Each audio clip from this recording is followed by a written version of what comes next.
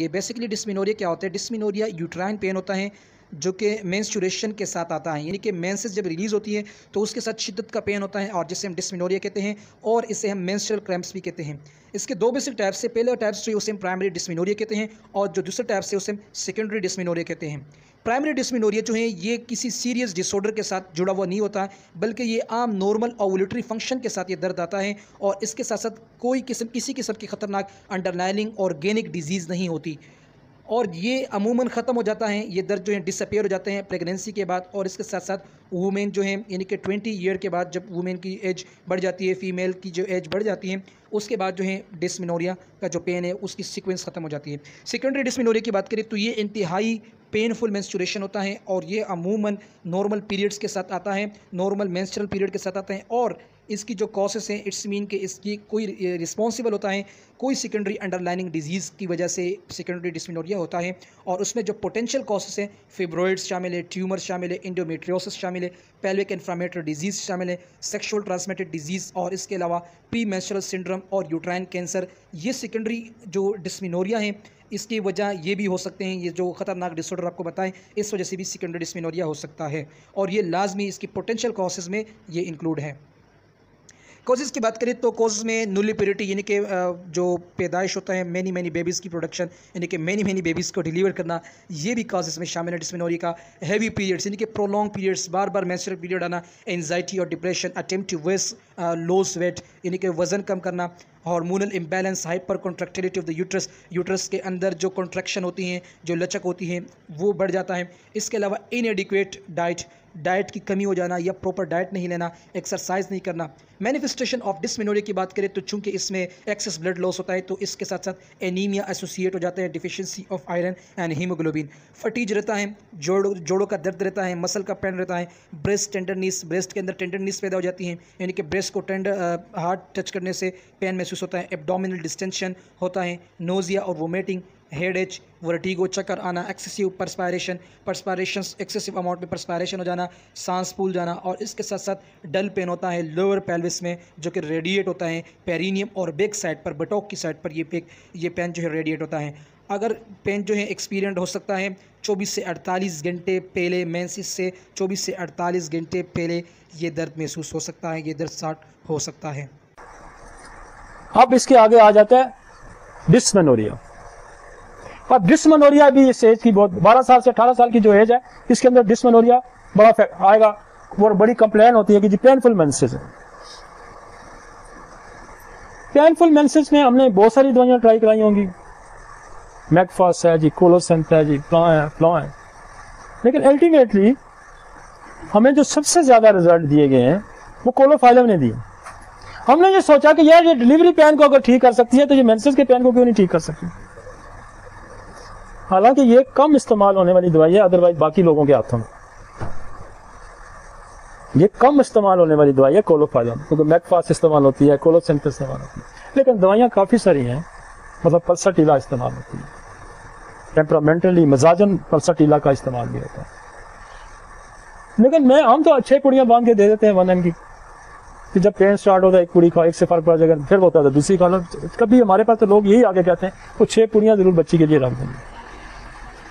लेकिन बहुत ज़्यादा इरिटेबल होती है बच्ची अगर पेन के लिए। मैं अलग भी स्पेसिफिक भी फोकस की आपको दवाइयाँ बता देता हूँ कि जी ज़रूरत से ज़्यादा पेन महसूस होना, ये दो दवाइयों का खासा है, बल्कि तीन दवाइयों का खासा है, पल्साटीला कैमोमेला लेकेसिस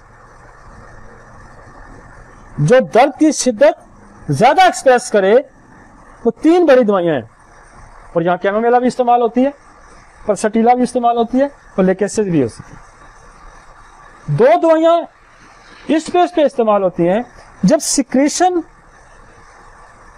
सही फ्लूड या तेज़ी से नहीं होती और उसमें रुकावट आती है तो दो दवाइयाँ उस, उसको दूर करती है, एक पर सटीला है और एक लेक्सिस है। माइंड उस पर अगर चले जाएँगे, आपको बहुत ज़्यादा इरिटेबल करता है तो कैमोमेला होती है? इसमें एक और दवाई भी बड़ी यूज़ होती है, वो है कैक्टस कैक्टस की अपनी एक खास सिम्टम है, वो पेशेंट ये कहे जी कि जी मुझे ऐसे है कि जैसे मुझे मेरी यूट्रस को किसी ने ग्रिप पकड़ लिया पकड़ लिया मुझे, मेरे, पकड़ लिया तो फिर कैक्टस आप देंगे तो विद इन अ मिनट दर्द खत्म हो जाएगा। मैं अलग भी डिफ्रेंशिएट करता हूँ, हालाँकि मैं ये प्रैक्टिस ही मैंने छोड़ी है मैं नहीं यूँ करता। लेकिन मैं स्टेज से गुजर गया हूँ, मैंने यूँ भी डील किया है लोगों को कि कैमोमेला से भी किया है कोलोसन से भी किया है मैकपा से भी किया है लेक्सिस भी किया है कैक्टे से भी किया है। अब तो मैं कोलोफाइलम ही देता हूँ ना, मैं वैसे आपको बात करूँ कि ये सारी स्टेजेस हमने गुजारी हुई अब एक और दवाई है, वो है जिंकथाइलम जिंकथाइलम भी अपनी खास पिक्चर रखती है कैक्टस की तरह।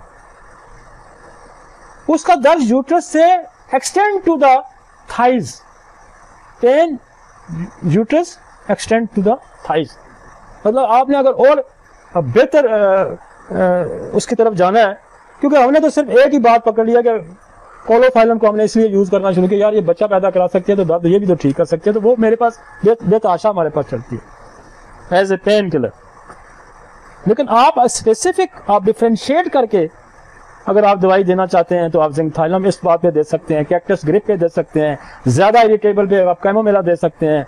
वीपिंग रो रोना शुरू कर देती है बच्ची तो आप पल्सटीला दे सकते हैं। लोअर एब्डामन हैवीनेस फील होती है, बोझ महसूस होता है तो आप सिपिया दे सकते हैं। तो आप यू डिफ्रेंशिएट भी कर सकते हैं, लेकिन हमने तो आपको एक शॉर्टकट बता दिया आप इतनी देने की बजाय आप कोलोफाइलम भी दे सकते हैं। तो कोलोफाइलम से भी आपका मसला हल हो जाएगा। तो डिसमेनोरिया अच्छा खासा एक प्रॉब्लम है, जिसकी अलग अलग भी आप स्पेसिफिक डिफ्रेंशिएट करके मेडिसिन बता सकते हैं। अदर आप कोलोफाइलम की दो चार छह पुड़ियाँ दें। मैकफास कोलोसेंट शुरू की प्रैक्टिस में मैं मैकफास और कोलोसेंट का बड़ा इस्तेमाल करता था। वो जी यहाँ थोड़ा सा हीट देने से फाका होता है, हाथ रखा हुआ तो मैकफास कोलोसेंट दे दी। उससे भी बड़ा फाका होता था। तो बेंडिंग आगे दोहरा हुआ हुआ। तो बहुत कोलोसेंट मैकफास इस सिम्टम में बहुत चलती है। लेकिन वक्त के साथ साथ हम ये देखते हैं कि बाद दफ़ा कोलोसेंट भी इस सिम्टम पे रह जाती है। मैकफास भी इस सिम्टम पे रह जाती है। ये सिम्टम जो है, ये बेंड होने वाली, ये पल्साटीला की बड़ी अलामत है। और जब हम अच्छा सीखता बंदा कहाँ है? जहाँ फेलियर होता है। जहाँ आप नाकाम होते हैं ना, वहीं आप सीखते हैं। हम नाकाम होते हैं तो हम सरेंडर हो जाते हैं कि अब अब क्या होगा? तो सीखने का अमल जितना फेलियर होगा, इतना ज़्यादा सीखेंगे। अगर रेपटी आप उठा के देखें तो बेंडिंग फॉरवर्ड पे कोलोसेंथ परसटीला और काली काप ब्लॉक लेटर की दवाइयाँ हैं। लेकिन इस्तेमाल कौन सी ज़्यादा होती है? कोलोसेंथ होती है। लेकिन हमने पल्सटीला और काली काप पे क्यों गए कि जब हम इसमें फेल हो जाते थे, जब हम इसमें नाकाम हो जाते थे? और फिर आपको एक और भी बात बताऊँगी अगर कोई भी दवाई दर्द नहीं रोकती तो ट्यूबरकुलिज्म ठीक कर देगी। कोई भी दवाई दर्द नहीं रोकती सल्फ़र थर्टी की डोज है वो ठीक कर देगी। अगर आप ये बोर्ड लगा लें कि मैं ए मनोरिया और डिसमनोरिया का इलाज करता हूँ तो रश तो फिर भी पड़ जाएगा। दवाइयाँ चुके में आपने छह और आठ याद करनी है। लेकिन ये छह आठ तो याद कर लें ये सारी स्टेजेस से मैं देखे ना, मैं पीछे उधर नहीं देख रहा, मैं आपसे मुखातब हूँ। ये मेरे टिप्स पे हैं। टिप्स पे क्यों आई हैं? हम 25-30 साल से इसको इस्तेमाल कर रहे हैं। ये मेरे टिप्स पे हैं। ये मेरे टिप्स पे हैं। और जो लोग कहते हैं, डॉक्टर अली, तीन, चार सौ मरीज़ कैसे देखता है? ये यही वजह है। ये यही वजह है। ये कोई जादू टूना और कोई ऐसी चीज़ नहीं है। कि आपको हमें कोई सब्जेक्ट लेंगे ना तो हमारे टिप्स पे होगा। और ये मसलसल जदोजहद है, इसको सीखने का अमल है। हम नाकाम होते थे, अगली दवाई ढूंढते थे, फिर नाकाम होते थे उसे। मैं एक्सरे पे पहुँचने पे मुझे कितना अरसा लगा होगा। हम पल्सर से स्टार्ट होकर एक्सरे पे पहुँचे तो इसके दरमियान में कई हज़ारों मरीजों के तजर्बात हैं कि हम नाकाम हुए, फिर हमने क्या किया? हम नाकाम हुए, हमने फिर क्या किया? तो अगर आप डिस्मनोरिया ए मनोरिया दवाइयाँ कितनी सारी हैं? और आपने इसका मैकेनिज्म अगर आपने समझ लिया तो आपका मसला ही हल हो सकता और यहाँ आपको ए मनोरिया में आपकी एक और दवाई भी जो as a supporting medicine use होती है पिच्यूटरी ग्लैंड का हम इस्तेमाल करते हैं। ट्यूबेक्लोनियम का हम इस्तेमाल करते हैं। हालाँकि शायद कुछ लोग करते होंगे, पहले तो लोग ट्यूबेक्लोनियम या एक्सरे या रेडियम इन दवाइयों को क्लिनिक पे रखना ही गुनाह समझते थे, जैसे कोई सांप हमने क्लिनिक पे पाल ली है दस जाएँगे हमें, क्योंकि डराया जाता था उसको। हो हो हो, ये नहीं देनी। हो हो हो ये नहीं देनी। हो हो वन एम नहीं देनी। भाई आप कंपेयर आप दुनिया का अल्टरनेटिव सिस्टम क्लेम कर रहे हैं। तो आप मरीज़ चुके में दिन में एक देखेंगे तो आपकी कंट्रीब्यूशन क्या है? इस, हेल्थ सिस्टम में। वो अगर पचास देखते हैं आप बीस तो देखें ना फिर आपकी कोई कंट्रीब्यूशन बनती है। आप क्लासिकल होम्योपैथ हैं। जी मैं तो क्लासिकल होम्योपैथ हूँ। मैं तो दिन में मरीज़ दो देखता हूँ। वो बाहर में जाए तुम्हारी क्लासिकल होम्योपैथी हमें तो रिज़ल्ट चाहिए भाई। हमें हमें कंट्रीब्यूशन चाहिए सोसाइटी के अंदर कि होम्योपैथी की कंट्रीब्यूशन क्या है? हमारी कंट्रीब्यूशन तब बनती है कि हम मरीज़ ज़्यादा देखें और हम मरीज़ देखने के लिए कि हमें, हमारे पास नॉलेज और इलम की ज़रूरत है। हमें एनाटमी और फिजियोलॉजी की पता होना चाहिए, हमें पैथोलॉजी का पता, हमें मैकेनिज्म नहीं पता कि what is the mechanism of amenorrhoea तो हम क्या मरीज़ को ठीक करेंगे? साल इंतज़ार करो जब दवाई काम कर रही हो। दवाई जब आप देते हैं ना, आज आपने डोज दिया, इसी वक्त पता चल जाता है कि इसने काम शुरू कर दिया। इसीलिए वो कहता है कि एक मुशाहिदा, दूसरा मुशाहिदा, तीसरा मुशाहिदा। फ़र्क पड़ जाए तो उस वक्त तक आप ना रिपीट करें, जब तक फ़र्क आना बंद ना हो जाए।